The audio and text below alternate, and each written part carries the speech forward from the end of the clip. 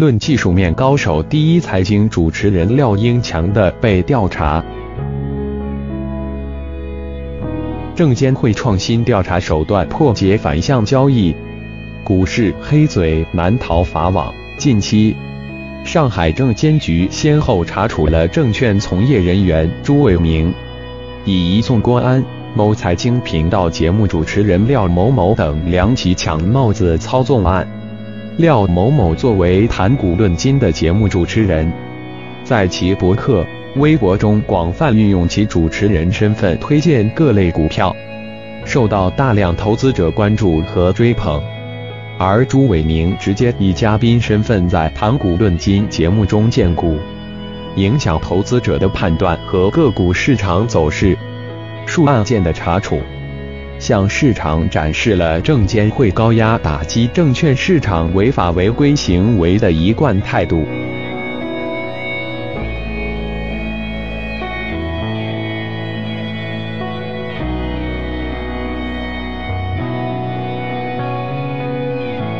证券日报，我是十七股龄的老股民，各种流派都会一些。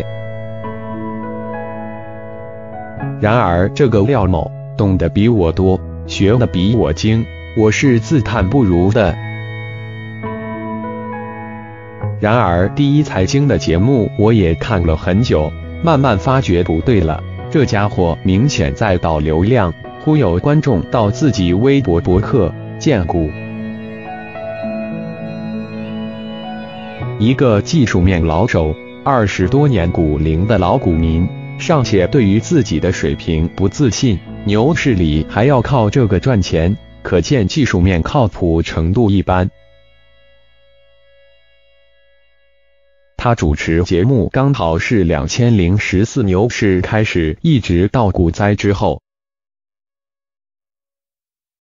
在明显可以判断行情趋势的时候。技术指标也是支持的。当模棱两可的时候，需要技术指标来指点迷津，他就不太靠谱了。五五开准确率，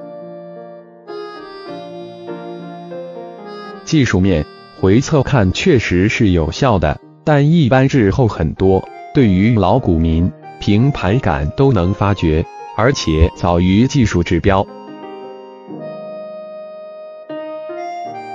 比如这个图。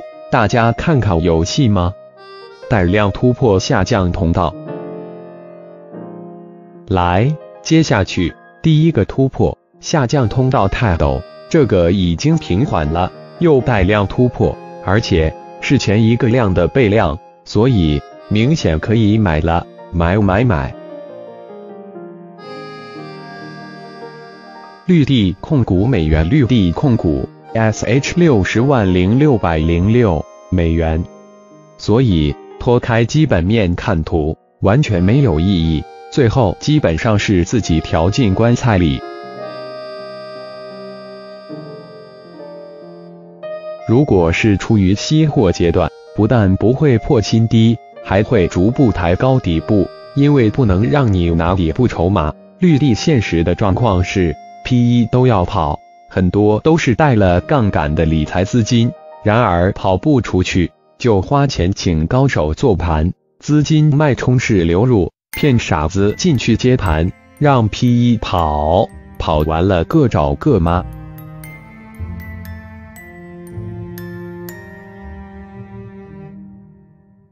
等一季报，你会看到很多小飞都走了，然后散出来的筹码继续还手。等这个换手充分了，才会起行情，这就是行为学分析法。如果一定要说技术面也有有用的地方，比如放弃日线，看周线，设置看月线，因为做盘做线要做到周线月线很难，成本也太大。然而，长期均线也只有参考意义，只适用于用公式大样本选股后缩小范围。因为等你在长期均线上看到确认，基本上少的已经涨了百分之三十了，多的翻倍的。这个时候介入，说不定有百分之五十还是跌回平台整理。所以总结一句：看指标不如赌。